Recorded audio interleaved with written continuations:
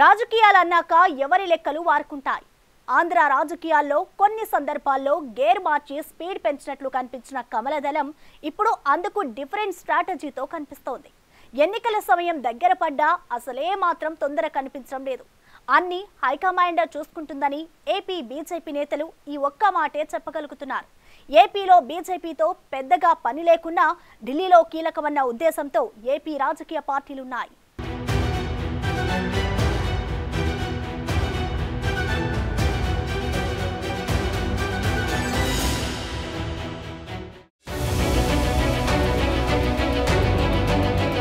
ఇప్పటికిప్పుడు ఆంధ్రప్రదేశ్లో సత్తా చాటే అవకాశాలు బీజేపీకి పెద్దగా కనిపించడం లేదు. అసెంబ్లీ సీట్ల కంటే లోక్సభ స్థానాలపైనే ఎక్కువగా ఫోకస్ చేసినట్టుగా పరిణామాలు చూస్తే అర్థమవుతోంది. రాష్ట్రంలో ఎవరితో పొత్తున్నా పెద్దగా ఉపయోగం లేదన్న అభిప్రాయంలో బీజేపీ హైకమాండ్ ఉందన్న ప్రచారం కూడా జరుగుతోంది. మొన్నటికి మొన్న విజయవాడలో మచిలీపట్నం విజయవాడ గుంటూరు నరసరావుపేట బాపట్ల లోక్సభ నియోజకవర్గాల బీజేపీ కోర్ కమిటీ మీటింగ్ జరిగింది. ఈ సమావేశానికి కేంద్ర మంత్రి రాజ్నాథ్ సింగ్ హాజరయ్యారు. ఆ సందర్భంగా ఆయన మాట అన్నారు ఐదేళ్ల తర్వాత ఏపీలో బీజేపీ ప్రభుత్వ ఏర్పాటు ఖాయమన్నారు ఆంధ్రాలో బీజేపీ ఓటు బ్యాంకు పెరిగిందన్నారు ఏపీలో బీజేపీ బలోపేతానికి ఇబ్బందులున్నా పోరాటాల ద్వారా జనంలోకి వెళ్తామని చెప్పుకొచ్చారు అంటే లైన్ క్లియర్గా చెప్పేశారు ఇప్పటికంటే భవిష్యత్ పైనే ఫోకస్ పెంచామని ఇండైరెక్ట్గా సిగ్నల్స్ ఇచ్చేశారు రాజ్నాథ్ ఎప్పట్లాగే దేశాన్ని మోడీ అభివృద్ధి పథంలో నడుపుతున్నారని ప్రపంచ పటంలో భారత్కు గుర్తింపు తెచ్చారని చెప్పుకొచ్చారు और मैं मानता हूं कि दुनिया के देशों के साथ चाहे ट्रेड हो टेक्नोलॉजी हो टूरिज्म हो हर मामले में हमारे अब संबंध पहले के कंपैरिजन में काफ़ी बेहतर होते जा रहे हैं लगातार बेहतर होते जा रहे हैं। इसलिए मैं कांग्रेस के बारे में कहना चाहता हूँ। कांग्रेस यह अस्थिरता की अनस्टेबिलिटी की जननी है माने माँ है। कांग्रेस परिवारवाद की जननी है। जननी का मतलब? Do understand meaning of the जननी माँ माँ। तेलुगु में क्या कहते हैं माँ को? अम्मा। मम्मा। माने कांग्रेस अनस्टेबिलिटी की अम्मा है। ఇక గతేడాది బీజేపీ అధినాయకత్వం ఏపీలో ప్రదర్శించిన దూకుడు చూసి ఆపరేషన్ లోటస్ ఏమైనా జరుగుతుందా అని అనుకున్నారంతా. మహాజన సంపర్క్ అభియాన్ అంటూ విశాఖ శ్రీకాళహస్తిలో కమలం పార్టీ భారీ బహిరంగ సభలు ఏర్పాటు చేసింది. విశాఖలో కేంద్ర హోంమంత్రి అమిత్ షా పాల్గొంటే శ్రీకాళహస్తి సభకి జేపీ నడ్డా హాజరయ్యారు. ఇద్దరి స్పీచ్లలో ఏపీ సీఎం జగన్పై ఓ రేంజ్లో ఫైర్ అయ్యారు. కేంద్ర నిధుల్ని జగన్ స్వాహా చేసేశారని అమిత్ షా అంటే వైసీపీ ప్రభుత్వం పూర్తి స్థాయిలో అవినీతిలో కూరుకుపోయిందని నడ్డా మండిపడ్డారు. ఏపీలో జరిగేవన్నీ స్కామ్లే అన్నారు. ల్యాండ్ లిక్కర్ స్కామ్లు నడుస్తున్నాయంటూ తీవ్ర వ్యాఖ్యలు చేసి వెళ్ళారు. ఏపీ రాజధానిగా అమరావతికి ప్రధాని మోడీ ఫౌండేషన్ వేస్తే మొత్తానికే జగన్ ఆపేశారన్నారు.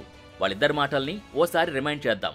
జగన్ జీకే శాసన్ మే వైజాగ్ असामाजिक तत्वों का अड्डा बना हुआ है। भूमि घोटाला, रेत खनन घोटाला, नस्ली दवाओं का व्यापार, ये सारे खुलेआम सत्ताधारी पार्टी के लोग कर रहे हैं। दो लाख तीस हज़ार करोड़ सिर्फ़ पाँच साल में, दस साल में इसकी हिसाब से पाँच लाख करोड़ रुपया मोदी जी ने भेजा है।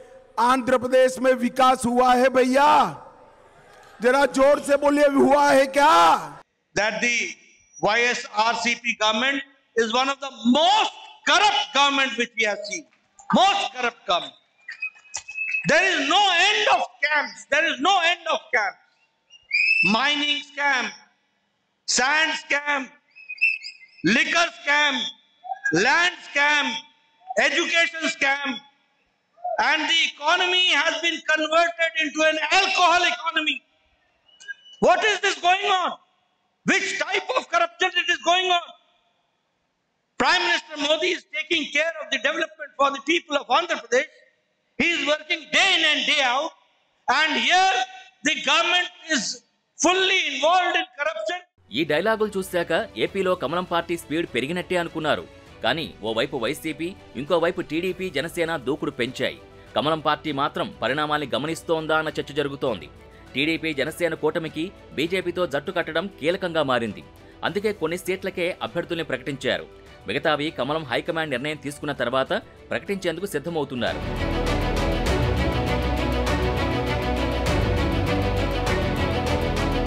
ఏపీలో టీడీపీ జనసేన బీజేపీల మధ్య సంబంధాలపై క్లారిటీ లేకుండా పోతోంది.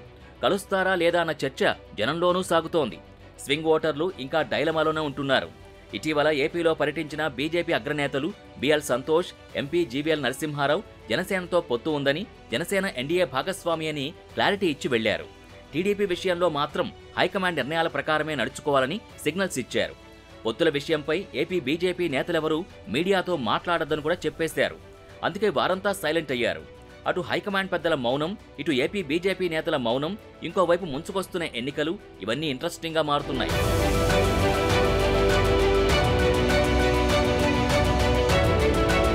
తమతో పొత్తులో ఉన్న జనసేన టీడీపీతో పొత్తు పెట్టుకుని కలిసి పనిచేస్తోందని రెండు పార్టీలు ఉమ్మడి మేనిఫెస్టోని త్వరలో విడుదల చేయబోతున్నాయని ఇప్పటికే ఒక దఫా లిస్టులు కూడా రిలీజ్ చేసిన విషయం బీజేపీ హైకమాండ్కి తెలుసు. అయినా సరే ఈ అంశాలపై ఏపీ బీజేపీ కానీ అటు ఢిల్లీ బీజేపీ కానీ ఒక్క మాట కూడా మాట్లాడలేకపోతున్నాయి. ఫైనల్గా ఏపీలో కమలం పార్టీకి రెండు ఆప్షన్లే ఉన్నాయి. టీడీపీ జనసేనతో కలిసి సాగడం లేదంటే సింగిల్గా బరిలో దిగడం. అయితే బీజేపీ లక్ష్యం ఒకటో రెండో సీట్లు గెలుచుకోవడం కాదని ఎప్పటికైనా ఆంధ్రాలో అధికారంలోకి రావడమే అని బిఎల్ సంతోష్ క్లారిటీగా నేతలకు చెప్పేశారు.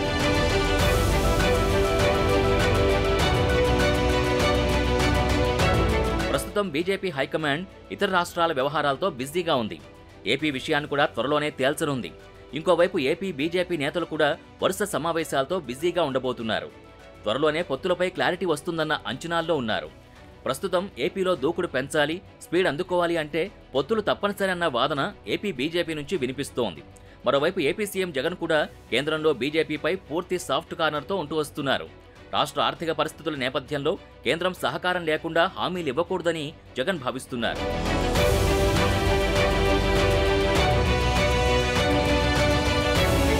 మరోవైపు ఏపీ బీజేపీ అధ్యక్షురాలు పురంధేశ్వరి వైసీపీ సర్కార్ టార్గెట్గా కామెంట్లు చేస్తూ వస్తున్నారు. మద్యం అమ్మకాల నుంచి ఇసుక తవ్వకాల వరకు అక్రమాలు చోటు చేసుకున్నాయంటూ ఆధారాలతో ఢిల్లీకి కంప్లైంట్ చేశారు. సీబీఐతో విచారణ జరిపించాలన్నారు. దొంగ ఓట్లపైన పోరాటం చేస్తున్నారు.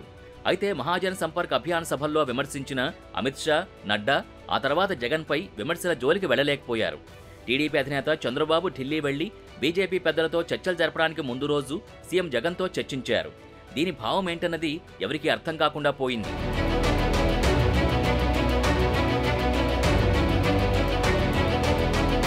బీజేపీతో పొత్తు పెట్టుకుంటే వైసీపీ దూకుడికి కేంద్ర పెద్దలు చెక్ పెడతారని చంద్రబాబు అనుకుంటున్నారు.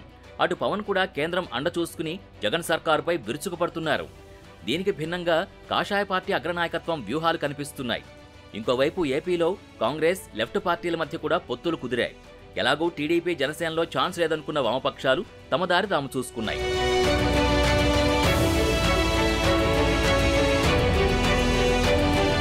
పొత్తుపై ఏపీ బీజేపీ నేతల్లో భిన్నాభిప్రాయాలున్నాయని పొత్తుల అంశంపై తేల్చేందుకు అంతర్గతంగా ఓ కమిటీ వేసుకున్నారు. ఇప్పటికే ఆ కమిటీ అందరి అభిప్రాయాలు సేకరించి హైకమాండ్కు సమర్పించింది. అయితే తొంభై శాతం మంది బీజేపీ నేతలు ప్రస్తుత రాజకీయ పరిస్థితుల్లో టీడీపీతో కలవడమే మంచిదని అదే రాజకీయంగా పార్టీకి లబ్ధి చేకూరుస్తుందని అనుకుంటున్నారట. కేవలం పది శాతం మంది మాత్రమే ఈ పొత్తుకు సుముఖంగా లేరని చెప్పినట్టు తెలిసింది. ఏపీలో వైసీపీకి కమలం అనుకూలమన్న అపవాదు పోవాలంటే టీడీపీ జనసేనతో జట్టు కట్టాలన్నది మరికొందరి సూచన. ఇప్పటికే జనసేనతో పొత్తు ఉండడం టీడీపీకి బలమైన క్యాడర్ ఉండడం లాంటి కారణాలు ఉండడం వల్ల ఎన్నికలకు పొత్తుతో వెళ్తే బలపడే ఛాన్సెస్ ఉన్నాయన్న అభిప్రాయాలు వినిపిస్తున్నాయి.